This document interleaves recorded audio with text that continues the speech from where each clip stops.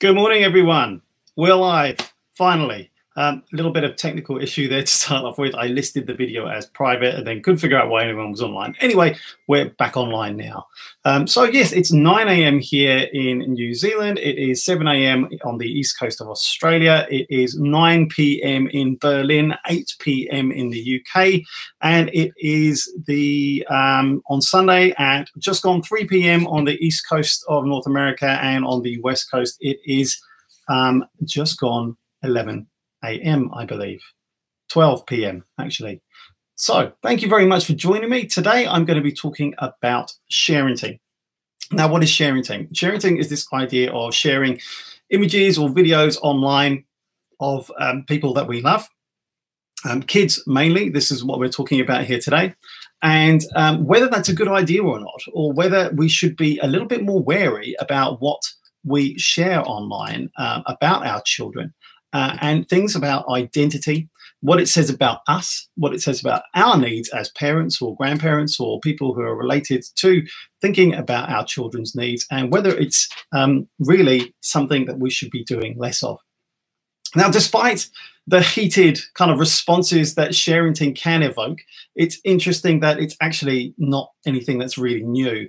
For centuries, people have been recording their daily minutiae of life uh, in diaries and scrapbooks and all kinds of different things like that. Uh, what's different today is that the spread of what it is that we share about our children and um, other people that we care about. In this era of what's been called kind of mass surveillance, really, it's possible that um, the parents are sharing images of their children in things in um, data centers that possibly aren't all that secure. So we perhaps have uh, an idea as to what it is that we want to achieve by sharing this information. But actually, what we uh, end up doing is um, sharing it into places where uh, we don't have a lot of control over who gets to see that information and um, it's possibly hackable and shareable too. Now, you may think that this is actually something um, paranoid, but actually there are cases where this has happened over and over again where people have actually had to disclose that data has been leaked or shared with people uh, who didn't have permission. So we're getting wiser about the dangers of oversharing, um, but enough people are still doing it that we do need to seriously think about the consequences. So that's what we're talking about today. Why, what the consequences might be, and what it is that we need to be mindful of if we think we want to continue doing this. I do it. Um, most parents I know do it, but thinking about how we do it is something that we need to be um, thinking more about. So what does the research say? Who does it? Now it's interesting because um, it says that um, the research seems to indicate that it's mothers. It's mothers who tend to post more information about their children on social media. That's not necessarily a good or a bad thing. Um, but what I'm talking about is that it's mainly women who tend to be the custodians of things like family photos or family memories that's just how it happens. And it's also the mothers, unfortunately, then who become the focus for disapproval and judgment when it comes for their sharing things. So not only are they the custodians, but because they're doing all this activity, then they're the ones that get the flack for it as well. So why do we do it? Well, there's a number of reasons, which I'm going to delve into a little bit more in this video. Uh, one of the things is around pride. It's around uh, a demonstration of good parenting, perhaps. And it's also to try to ease and meet the social pressure because everybody else seems to be doing it. I feel like I need to step up and do this too.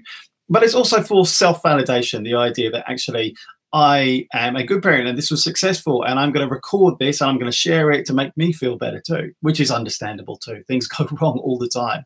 Uh, and when you have a success, it's something that you perhaps want to celebrate, particularly if we're living in atomized communities. More and more these days, we're doing these experiences by ourselves. So one of the things I want to just signal as well is that this is going to be a regular fortnightly um, live stream that I'm going to be doing. And the next one that I'm going to be doing is going to be on the, I think it will be the 17th of February, and it's going to be on parental burnout, which I'll also be talking about on Radio New Zealand later on in the month. So what are the downsides of sharenting? Well, it has been framed as something like a permanent digital tattoo for children in this age of what's been called surveillance capitalism, where we kind of are giving away our data for free. We're constantly going to be able to track our children, or other people are going to be able to track our children as a result of sharing our images and videos on the net. Now, children are becoming more and more wise and vocal about their own digital rights and views about rights of ownership of their own images and their, their content, other content that they're involved in. So that's something that's a new development too. Do we need to ask our children's permission or at least make them aware that this is going to be happening, that there's going to be a digital footprint that's going to be about them? uh, which potentially employers or other people are going to be able to check about them as well relatively easily. All right, so let's delve down a little bit here in, in, in, terms of detail. I want to talk a little bit first about the sorts of diaries and the way that people kind of re recall and, and share this information. So you've got things like, you know, if you're looking at the sort of pen and paper old school way of recording what it is that your child's doing, it starts off with baby books where you got parents invited to log information about their children, perhaps the generations that came before them, the first kind of, you know, time that they did a particular thing, hitting particular milestones, and you record that, but it's more for your own use. Now, this kind of impulse that we have to document and share information has been described by a scholar called Lee Humphreys as a form of media accounting. So this is the idea that throughout our lives, people occupy many roles, child, spouse, parent, friend, colleague. And one way to perform these roles is by documenting them. By then you can look back on these traces that you've recorded, and that helps you to, shell, to shape a sense of self, to construct a coherent life story and it helps you to feel connected to others. This is who I am. These are the things that I have done. This means that I am this kind of a person. This is myself. gives me a sense of who I am and perhaps who I want to be. Know, what are the changes that I want to make? And you know, I've long thought that actually we don't really have a sense of self unless we think about this narrative structure.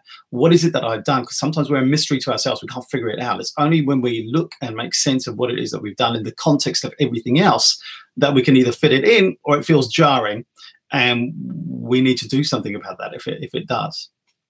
But have you ever thumbed through perhaps like an old yearbook or perhaps your grandparents' travel photos or, or, what it is that their lives were like, or perhaps even a historical figure's diary if you don't have access to those sorts of things? If you've done any of that, you've looked at media accounts. It's the same if you've um, scrolled through blog archives or even in your own Facebook timeline when you look through the, the, your history, when Facebook serves you up all that stuff, if you've opted into it, um, of on this day. That is an immediate, that is a media account. So social media might be fairly new, but it's a, just a different form of expression of this active recording of everyday life. Uh, but this time it's kind of served up in front of you rather than you having to go out and dig it out. Now, writing about perhaps family life online can help parents to express themselves as well creatively and connect with other parents. And media accounting, this sorts of thing, helps people make sense of their new social identity as a parent. It's a new thing. It's something that we have to rehearse. It's something that we have to get used to. It's interesting. There's been quite a lot of um, media um, talk over the last few days here in New Zealand about the experience of fathers in prison uh, and how it is that they get to rehearse or uh, perform the um, role that they have of being a father and whether they have the space or permission to be able to do that with their kind of persona that they have to have in prison is a very different persona that perhaps they need to learn how to be as a father. And particularly in that confined space where you're not able to move and a child being invited into that space can be threatening. And we've been talking about models uh, you know there's some models in wales and other places where um, they've been thinking quite creatively about how to perform that.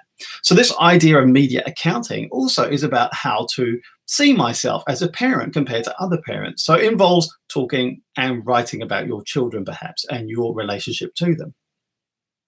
So thinking about judgment then of parents who share too much. So you know, whilst we have everyone kind of like sharing things about children, grandparents, aunts, uncles, all of these people share images online. Research shows it's, like I said before, mothers who post more information about their children on social media in general. You might not be one of them, but in general, particularly when it comes to family photos. And it's also the mothers who cop the most flack, get the most disapproval and judgment for their sharenting. And those people who are irritated by sharenting, you might be one of those people who doesn't have kids, you're not interested in kids, and you're on uh, in that case, I don't know why you're watching this video, but anyway, you might be one of those people Um, and they describe their posts, these sharing posts, as dull or repetitive or just plain annoying. And some people find it irritating enough to actually set up groups. Um, such as STFU parents, formed around the idea that they're being driven crazy by baby and child updates in their social networks. And it's also been criticized as a, a form of digital narcissism.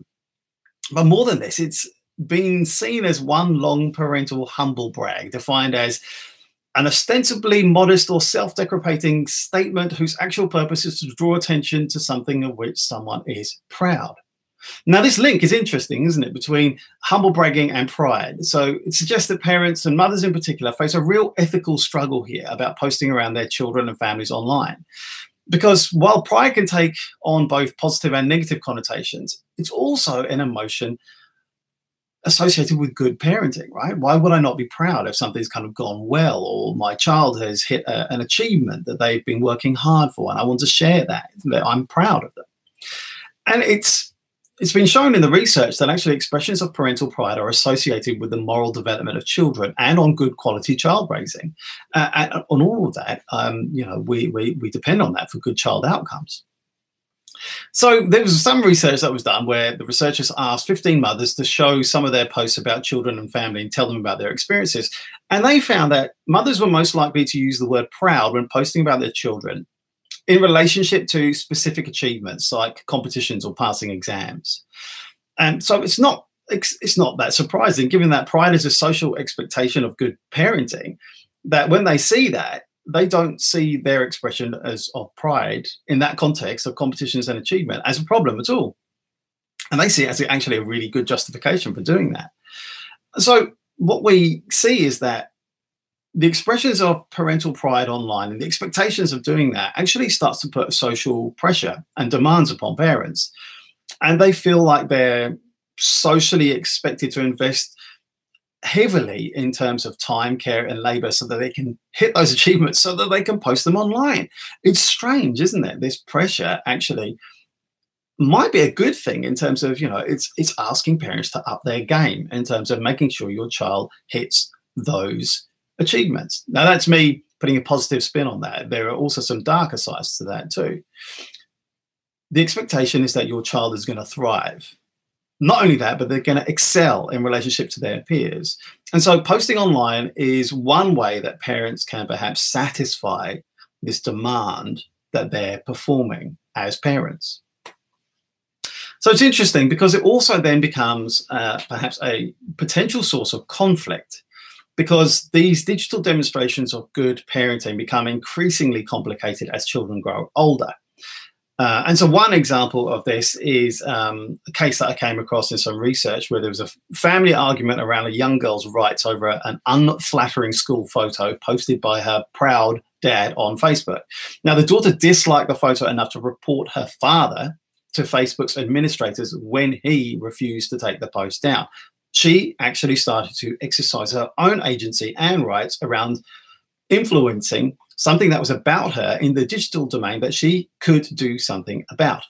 She was worried that she was going to be it was going to be seen by her friends and classmates and she would receive negative comments at school. However, her mother told the researchers that Facebook supported the father's rights to keep the post in circulation in this case. So it's an interesting conflict here, isn't it? What's a source of pride for parents can be a source of disruption to a child's life, both on and offline. And so it's interesting, isn't it? Some some research has showed that mothers um, try to negotiate this ethical dilemma by um, keeping everyone involved. So they treat their online sharing as a means of maintaining close connections and relationships with others in their social relationships. So what they're trying to do is that they're trying to um, share this material as a way of kind of smoothing out or keeping those relationships going online. And they um, said, these mothers said that they wanted to express something about the closeness of their family and something genuinely nice about their children.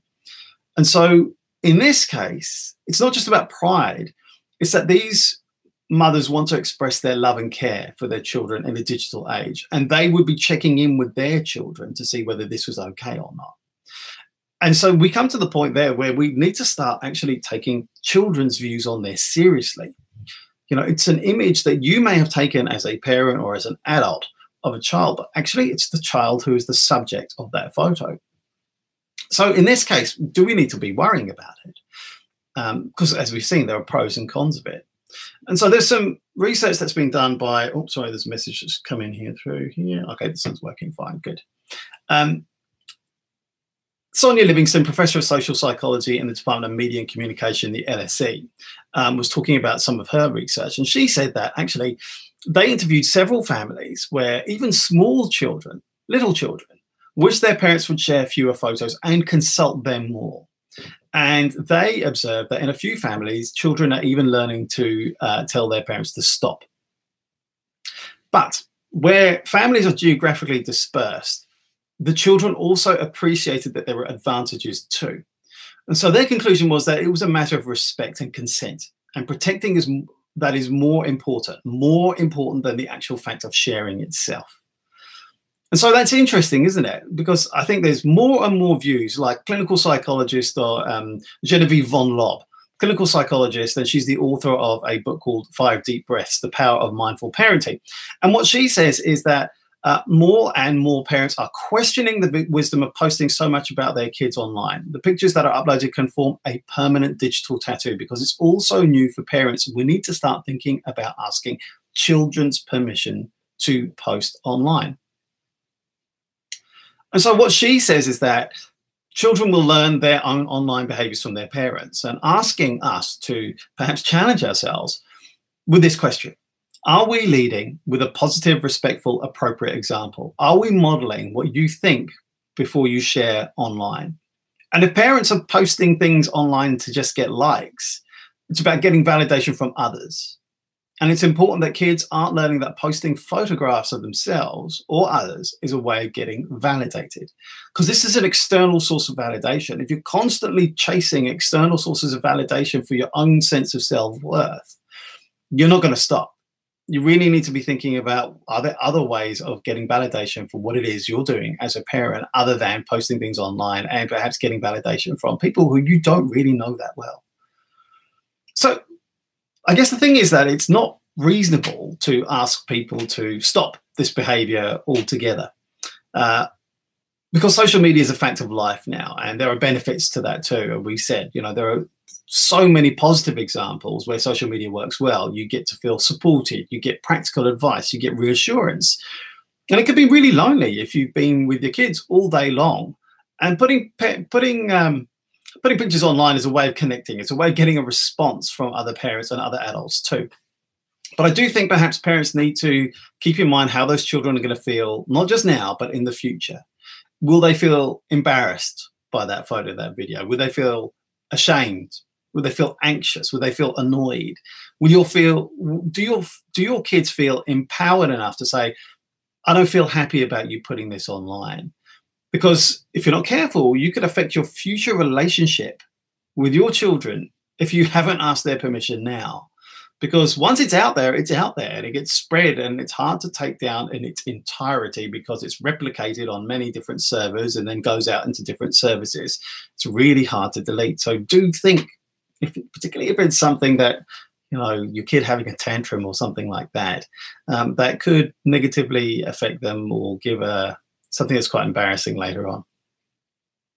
And it's interesting to think will we ever get to the point where children are routinely suing their parents? Because this has been suggested for exposing their childhoods online.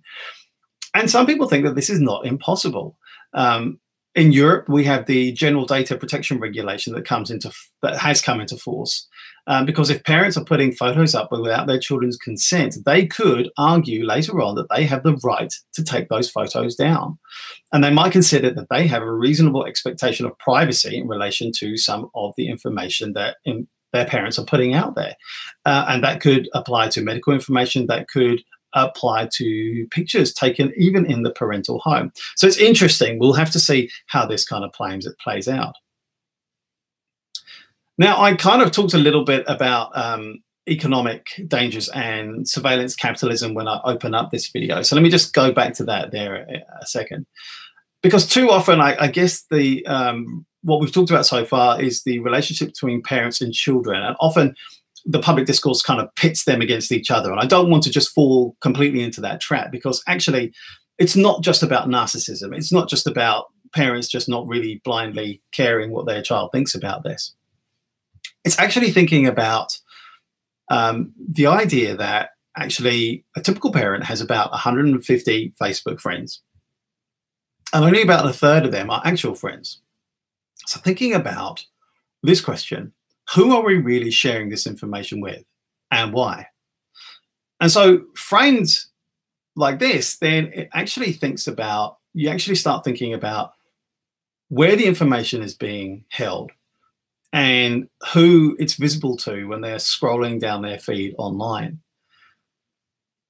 So, thinking about what corporations do with the data that you're putting online, because it's not like a photo album or a photo book which you whip out and put on the coffee table when somebody comes around. It's open to perhaps everyone. And so the terms by which your media accounting happen nowadays have changed drastically to how they did before.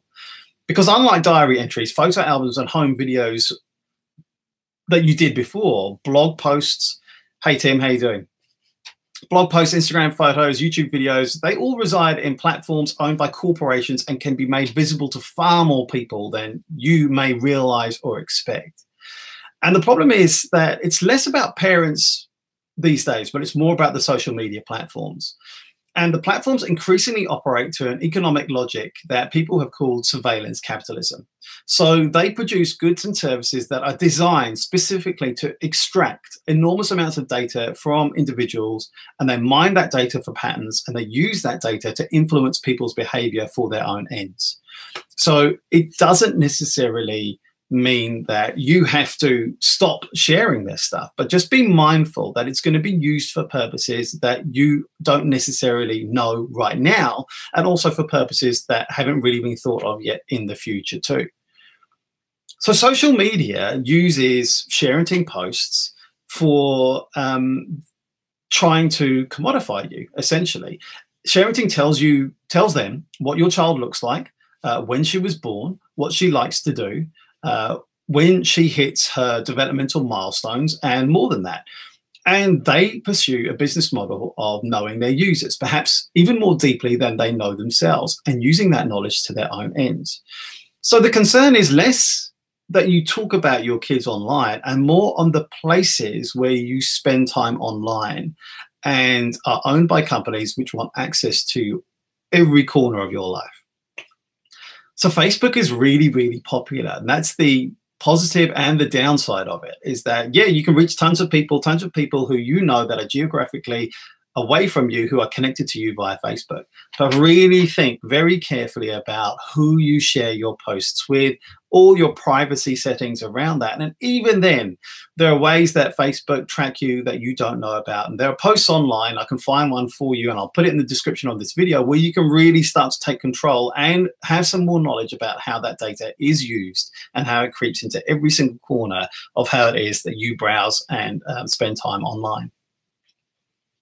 So, just in the final part of this, um, I just want to think a little bit about um, some of the other hazards around sharenting.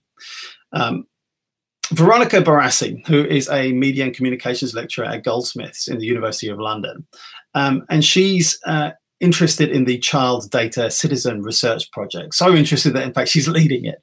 And she says that there's a bit of a moral panic going on about sharing pictures online. But at the same time, she admits that there are dangers. And she says, if you think about big data and how children are being profiled on the basis of social media images, there is a real risk. I'm particularly interested in things like facial recognition, the way in which data is sold, and the lack of transparency, and the most worrying aspect of so called sharenting, that lack of transparency. So she gives an example parents posting pictures of their children at political demonstrations. And thinking back to what she said was a picture posted on her own private Instagram account of her child at an anti Trump rally in London. And she felt like it gave somehow the child a political agency in some way. But if but parents are tending not to think about the fact that that's created a political trace that then can be tracked in the future.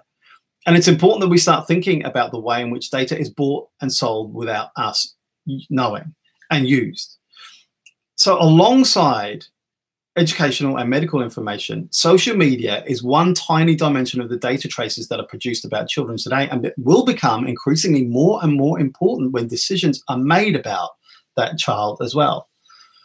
Yes, Tim, there are benefits in data collecting uh, while they use it to data, uh, target uh, advertising, uh, and it can filter out what's irrelevant for us. Yes, if we're thinking about what's coming to and from us with that relationship. But what I'm saying is that actually that data is used for many, many other things that aren't necessarily about what's being fed to us.